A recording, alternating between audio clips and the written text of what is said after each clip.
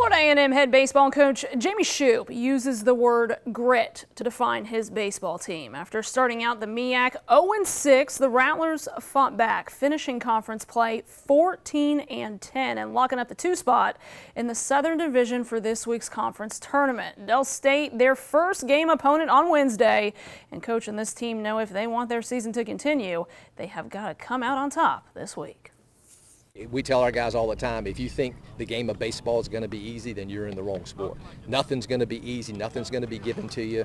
Um, you just have to. The game of baseball is like life. It's, it's, it's all about overcoming adversity. We have to do everything: pitch, hit, run, and I would say stuff um, also that's beyond the stat line too. I would say more of effort stuff, and uh, you know, just emphasize on the you know on the little things.